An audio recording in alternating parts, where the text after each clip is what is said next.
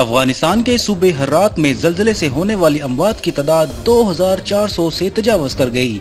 9,000 से ज़्यादा अफराद जख्मी। अफगान हुकाम ने जल्जले से अमवात की तादाद में इजाफे का खदशा ज़ाहिर कर दिया है जबकि जल्जले से 1,500 से ज़्यादा मकाना तबाह हो गए हैं। अफगान हुकाम के मुताबिक सुबह हर्रात में आने वाले जल्जले की शिद्दत इशारिया तीन रिकॉर्ड की गई जिसके सबब इंफ्रास्ट्रक्चर को शदीद नुकसान पहुँचा जबकि बाद गैस और फराह सूबे में भी आफ्टर शॉक्स महसूस किए गए।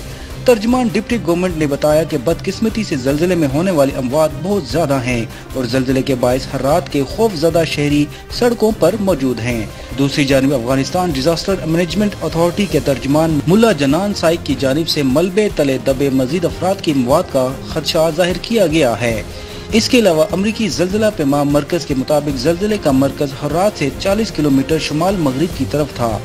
जबकि जल्जले के बाद से आठ ताकतवर आफ्टर शॉक्स आ चुके हैं, जिनकी शिद्दत भी ज़्यादा महसूस की गई वाजह रहे कि इससे कबल भी गुजशत साल जून में अफ़गानिस्तान के मशरकी हिस्से में जल्जला रिकॉर्ड किया गया था, जिसे दो दहाइयों का सबसे खतरनाक जल्जला करार दिया गया था, जिसमें कम अज कम एक हज़ार ऐसी ज़्यादा अफराद जहाँ भाग और पंद्रह सौ के करीब अफराद जख्मी हुए थे।